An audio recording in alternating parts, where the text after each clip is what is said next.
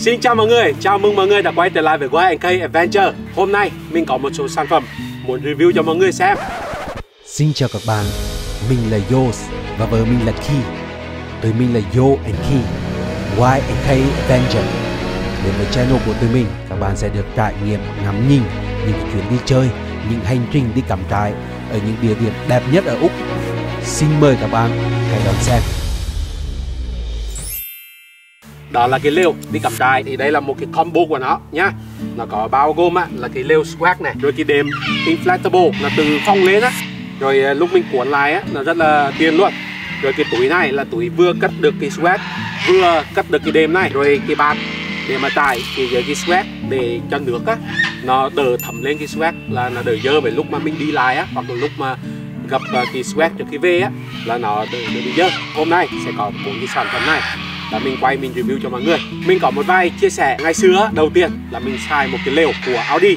Là trong những cái video gần đấy á là mình vẫn đang xài. Lều đó á, là nó rất là rẻ. À, lúc mình mua là hình như 119 đó. xài cũng khá là ok. Mình thấy một cái ở cái lều đó là nó setup rất là nhanh luôn. Nhưng mà nó cũng khá công canh khả năng tại vì lều đó là chỉ lều không rồi còn phải thêm đệm với đô nữa. Với cả là cái lều đó xài mùa hè á, thì nó ok thôi. Nó cách nhiệt tốt. Nhưng mà xài mùa đông á cực kỳ lạnh cực kỳ lạnh cực kỳ lạnh mùa đông vừa rồi là mình xài nguyên cái lều đó luôn. Cho nên là phải mang chăn rất là nhiều một cái chăn đắp này một cái chăn lọt ở dưới nè rồi một cái chăn ở phía dưới cái chăn đắp nữa. Đó là hai hai lớp chăn lông rồi thêm một lớp chăn bóng nữa. Vậy mà vẫn lạnh nhá à, sau đó là mình có uh, xài một cái lều ở uh, uh, rooftop tent ở trên xe. Trong cái xe mà Ford Ranger cũ của mình mà mình đồ á thì uh, mình có để cái lều ở trên đấy. Cái lều đó là spot on perfect luôn á. Đó rất là tốt cái lều đó. Lều đó là của New Zealand thì uh, mình chưa có thời gian mà quay cái lều đó cho mọi người xem. Thì bây giờ là hết cơ hội rồi.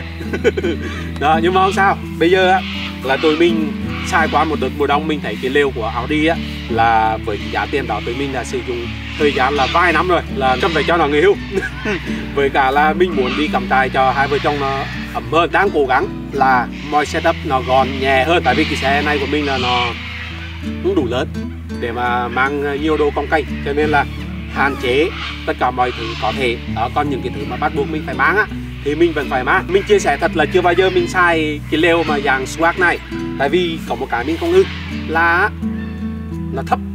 Như cái lều áo đi cũ của mình á, là đi vào trong lều là đứng thẳng, không bị chạm đâu rất là thoải mái luôn. Trong lều rất là rộng nữa, để một cái nệm mà kính sái á, là còn chỗ để mà để đồ rồi bây giờ mình còn chỗ để cho cái, cái giường cho, cho cho chó của mình ở trong lều nữa là phần rộng rãi đi lại thoải mái beautiful luôn. Nhưng mà vì à, uh, nó cái chất liệu của nó nó mỏng quá cho nên là nó không giữ được uh, độ ấm.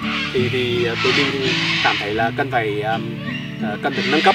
Thì rất may á là trong thời gian này này là cái hàng mà King này là chuyên về cái đồ mà để đi off-road đi camping luôn. Là rất là nhiều thể loại mà giá cả nó cũng phải chăng.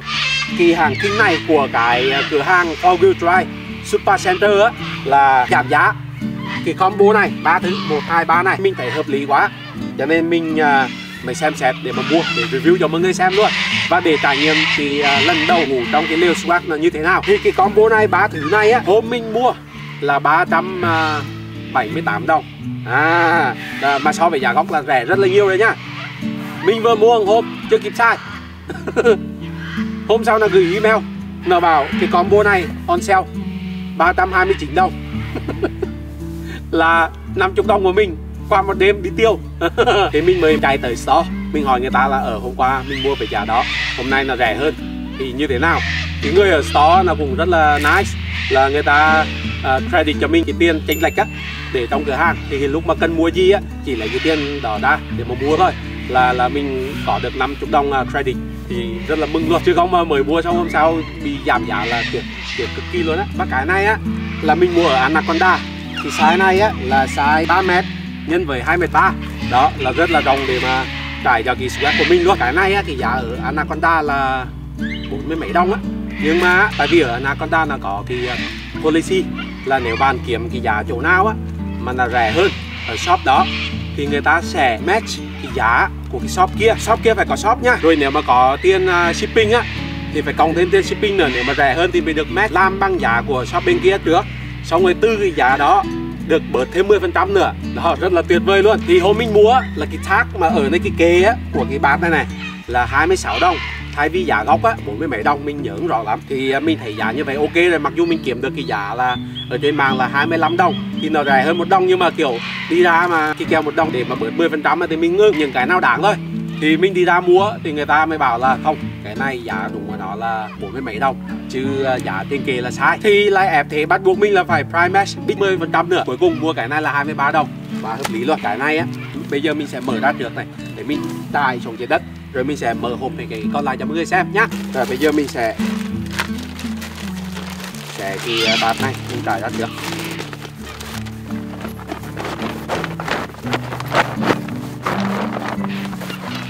Đây, cái bát mình là mình trải xong rồi này, thì size của nó nó cũng vừa phải là hợp lý. Bây giờ mình sẽ mở tiếp cái thùng swag nhá.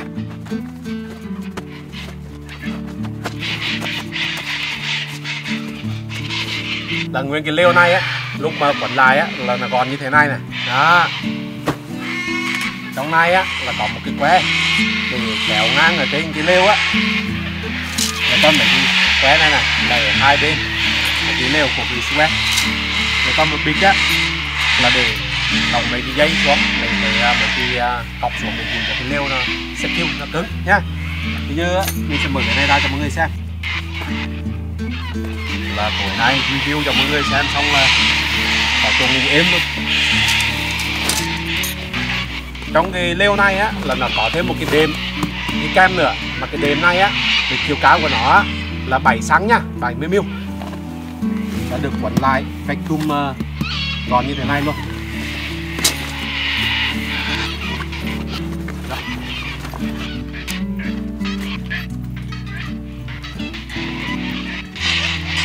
Que này là có hai cái đầu ở dưới chân á là mình à, đặt nó vào. Xong rồi chỉ còn mấy cái móc này là móc nó vào thôi.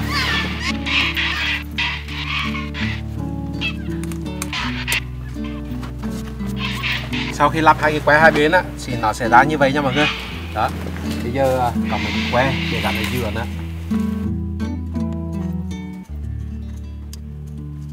Đây, nó nổi lại như vậy xong có cái gập gập lại cho nó cứng. Một đầu luôn vào đây này que này á, là nó extend được nhá. Đó, cho nên kéo căng nha cả cái lêu ra này. Đó. Xong rồi lóc lên lại. Okay. cái que trên này á, là mình căng ra như vậy tạm đã nhá. Để bây giờ mình sẽ đi, sẽ cứu lại bốn cái góc này. Trước, rồi mình sẽ chỉnh lại ở trên.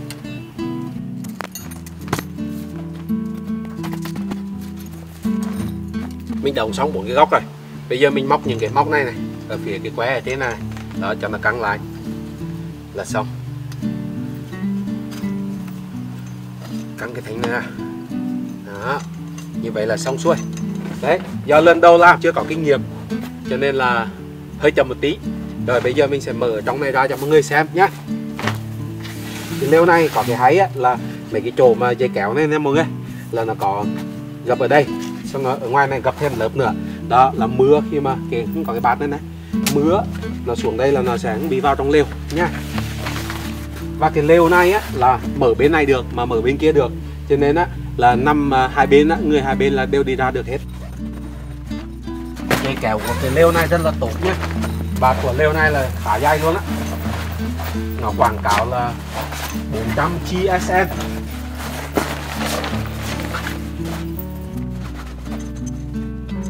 cái mái trước là như vậy. Xong rồi có một cái lớp chống ruồi chống muỗi này này. Bây giờ mình sẽ mở ra. Để cho cái mềm nó vào. Như ở trong vùng rộng lắm mọi người. Bây giờ mình sẽ quay cận cảnh cho mọi người xem ở trong nha rất là rộng luôn. Cái dòng này là dòng Big Daddy à, Deluxe cho nên ở trong nó rất là rộng. Hai người nằm là thoải mái nhá. Đây. Đó bây giờ mình sẽ cho cái đệm đi kèm với nó. Xong rồi cái đệm mà mình mua thêm nữa để cho nó dày lên nằm cho nó êm. Bây giờ mình sẽ mở cái đệm đi kèm của nó nhá. Lần đầu à, xài cái swag này cho nên là không biết là nó như thế nào. Nhưng mà rất là nhiều người á, là kêu xài cái này là rất là sướng. Chỉ có một cái là không đứng dây ở trong lều được thôi. Hôm nay mình quay review đập hộp vậy là setup cho mọi người. Trong ngày sáng mai mình sẽ à, quay lại cái cảm giác sau một đêm ngủ swag nó như thế nào? Nó có đáng giá không? Để cho mọi người biết nhá. Đêm nay 70 ml á mà đêm đi kèm là nó khá dày nha mọi người. Có những loại là 50 ml nữa. Đây đây là cái túi đệm nha rồi bây giờ mình sẽ chạy cái này vào. Để trong này hay đi không được ba năm đâu nhá đâu đó. Sau cái đệm ra là cũng là hợp lý rồi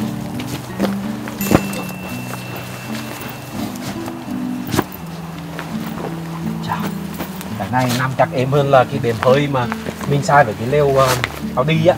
Thì uh, một lý do mà mình thay cái bộ này nữa là do cái đệm hơi của mình á nó có cái triệu chứng ờ, là nó bắt đầu bị xì hơi.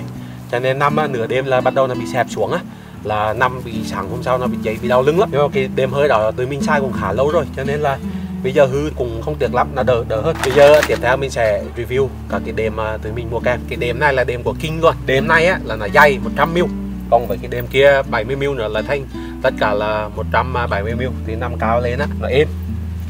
Nó đỡ đau lưng. Vậy là kiểu mình à, cách xa khỏi mặt đất á thì à, cái lưng nó đỡ bị lạnh. Bởi vậy mình thích cả cái nệm hơi của tụi mình đợt trước lắm. Tại vì nó cao á giống như à, chiều cao là chắc cũng giống như cái đêm ở nhà luôn á.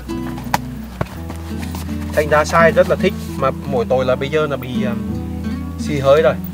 Cho nên là năm giờ đêm là nó bị dồn lại á.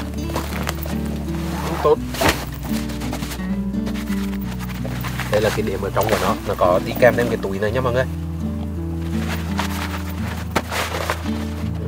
Đây là sách hướng dẫn sử dụng này. Người ta xếp lại gọn hay thật chứ. Mua như thế này chứ để lúc mà sai xong là không bao giờ thiệp lại được như thế này. Cái đệm này á, là nó có cái đầu này này là vặn ra. Đó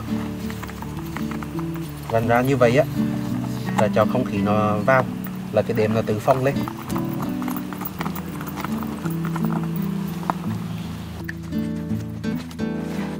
Cái đệm đó là mình à, lắp xong rồi. Bây giờ á, là mình để cho nó phong lên một tí, tí xíu.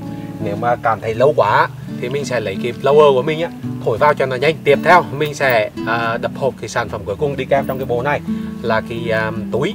Để mà khi đi về á là gom nguyên cái đống này à, vào trong cái túi đó cho nó tiền nó gọn bây giờ cái sản phẩm cuối cùng trong cái buổi review hôm nay là cái túi mà cover cho cái uh, lều này.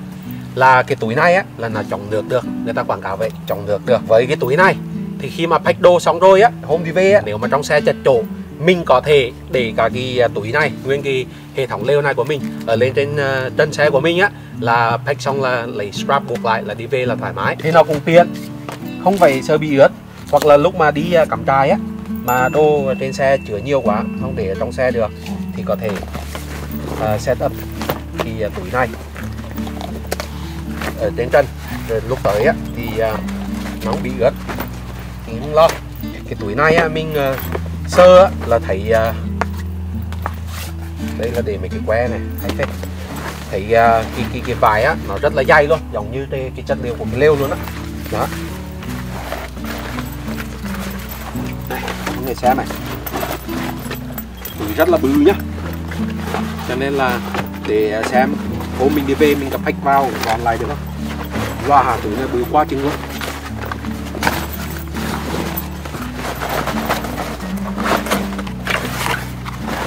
Đấy. tính giá là ban đầu tính là để thay thế cả cái lều Audi cho nó gọn nhưng mà do mua thêm nhiều đồ, cho nên thành ra là chưa chắc đã gọn hơn lều của Audi, vậy là cái nệm hơi đâu nhá. Đó, nhưng mà không sao nếu mà cái này đem lại cái đồ thoải mái cái đồ ấm thì bắt buộc mình vẫn phải thay thế thôi. Tại vì cái lều Audi mà đi um, cắm trại mùa đông á tụi mình thì tụi mình chịu được nhưng mà về lâu về dài á nó không tốt cho sức khỏe thì vẫn phải nâng cấp ha. Đây cái túi là nó to như vậy. Thì mong là nhét được cái đống đồ này vào được mà nó gọn nó đẹp là quá hợp lý luôn. Thì đêm nay mình mở ra một chút xíu là thấy nó cũng à, dai lên này nè mọi người. Đó. Để bây giờ mình thử mình lấy cái máy thổi của mình. Thổi xem nó có căng lên được không nhá để thổi năm cho nó êm nhá mình đi cắm trại á thì mình sẽ cầm thêm một cái blower này đó. là thổi ra cái gió á thì cái này á là nó vừa là khi mà các bạn đi về này là các bạn xịt ở trong lều cho nó bay ra cho nó sạch. Hai nữa là nếu mà mùa hè nhà có trẻ con á à, muốn cho con nít xuống tắm sông rồi chơi mấy con vịt mấy con thiên nga hoặc là à, mấy cái thứ mà pháo á đó là có thể dùng cái này để mà bơm lên. Rất là nhanh và cái này rất là mạnh luôn. Và sai chung cái pin à, uh, DiWatt của mình thì à, rất là tiền cho mình rồi. Nếu các bạn có cái nêm pháo giống như cái nêm cũ mà lúc trước mình sai á thay vì mình phải sai cái cái kia là phải có à, bình điện đó thì cái này gắn vào là là sai bằng pin đi quát là nó rất là tiền rồi bây giờ á mình sẽ thử thổi cái này vào. Cái nêm này cho nó phong ra tại vì nó con mới nó bị compress xuống á cho, cho nó phong ra cho nó dày ra. Thì mình mới thổi xong để giúp cho nó rồi. Thì nếu mà lần đầu mà đập hộp như à, mình như cái này á nhà sản xuất là bảo là cái đêm này mở ra hai tiếng á thì nó bị dày lên. Nó mình, mình, mình đúng cái độ dày của nó. Đó mình chỉ thổi vào để để để giúp cho nó cho nó process nhanh hơn thôi. Bây giờ mình cứ để vậy. À, tới tối mà đi ngủ là mình kiểm tra lại một lần nữa là perfect. Đó mục đích vì sao mà cái túi này mình mua? Cho cái combo này là to như thế này á là nhìn là cong kênh thật đấy. Nhưng mà tụi mình sẽ à, để chăn này gối này ở trong này này lúc mà gọi lại á sẽ gói tất cả mọi thứ. Thì khi mình đi cắm trại á là chỉ cần xách một cái túi này thôi là có lều này có đêm này có chăn có gối ở trong này cong cây. Nhưng mà nó lại rất là tiện khỏi bị quên đồ này nó rất là hợp lý luôn. Hiện tại á là vợ chồng mình vẫn đang à, sai chăn về gối. À, nhưng mà nếu tương lai mà có điều kiện á là tụi mình sẽ kiếm một cái à, sleeping bag mà hiệu tốt để mà đi cắm trại mùa đông luôn. Thì mọi người nếu mà ai đi mà có kinh nghiệm à, xài sleeping bag nhiều rồi thì nhớ thả cái bình luận comment ở phía dưới để à, mình tìm hiểu. Xong rồi mình mà có điều kiện thì mình sẽ review cho mọi người ở trong tương lai. Rồi bây giờ mình nói thêm một cái điểm cuối của cái lều này nữa. Ở à, hai bên góc lều này này là nó có cái cửa sổ. Yeah. rồi à, cái cái này là cái mái che. Đó là cái cửa sổ dưới này này đó nó cũng có lưới ruồi với đồ mở trong kia à, như cái cửa phía trước vậy. Nhưng mà đặc biệt là cái mái che này á là có cái dây buộc vào đây. Đó buộc qua cái lỗ này. Xong cái kéo căng ra cắm cái dây xuống dưới đất á là khi mà mưa nó xuống á là nó nó không bị hắt vào trong lều. Đó rồi các bạn ở trong lều buổi tối ngủ á uh, hé một chút để cho có gió nó lưu thông vào lều á nhưng mà không không có bị lạnh hoặc là nước nó không bị vô lều. Rất là hay luôn. Thì mình quay cái cảnh đập hộp bốn cái món đồ của mình về cái lều mới cho mọi người xem rồi. Bởi mình mới chuẩn bị xong uh, nêm với chăn cho cái lều này của tụi mình này. Đây mình mời cho mọi người xem. Đây là chăn nêm nêm ở dưới này này hai lớp này. Một lớp của đi kèm theo uh, cái lều này. Rồi lớp mua thêm bây giờ là dây này lúc này là là dẹp cỡ này mà bây giờ là phong lên như vậy đó. Đó còn uh, đây còn một lớp chăn lọt ở dưới. Thêm một lớp chăn này để thêm một lớp chăn ở trên nữa bao ấp. Đấy. u êm. Êm quá. Nằm cho mọi người xem này. Chân chân ở dưới này ấy đau quá. Rộng rãi thoải mái lắm này. Xứng đáng đồng tiền bạch gạo.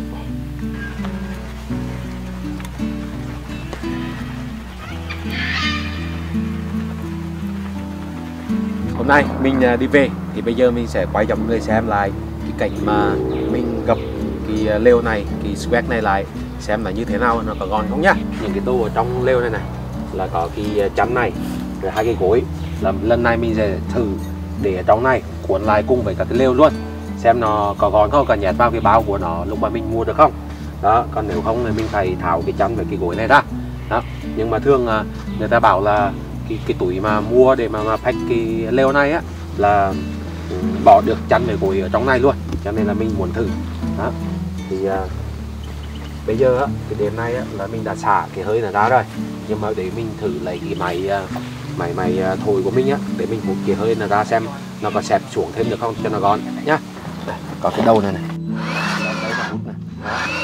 Đầu này thổi ra.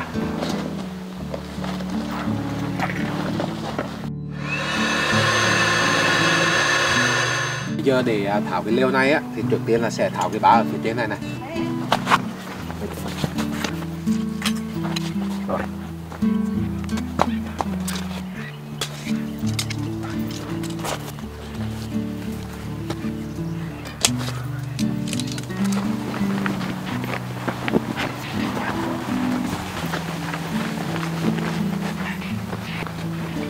mình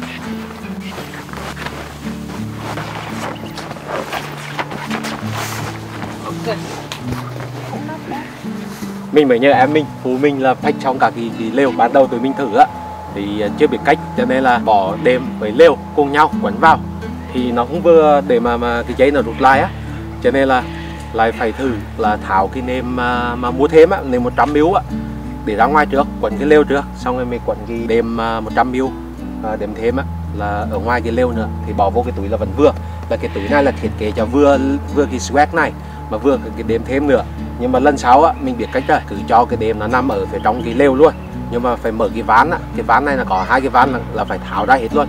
Để khi cuốn lại là cho hơi là xi ra. Mình nghĩ là nó sẽ ngon hơn như thế này nữa. Đó nhưng mà bây giờ um, cố gắng vạch đồ để về sớm. Cho nên là mình tự mình làm lại nữa lần sau nếu mà có cơ hội, mình sẽ quay lại thêm một lần nữa cho mọi người xem nhé cảm ơn mọi người đã theo dõi video review và unbox cả cái ờ, Leo Square swag mới này của tụi mình. Mọi người ờ, thấy video này hay thì nhớ like, share, comment và đăng ký kênh ủng hộ cho tụi mình với nhá. Và nhớ ấn chuông theo dõi. Tụi mình là YNK Adventure. Xin hẹn gặp mọi người vào những video tiếp theo. Tạm biệt mọi người.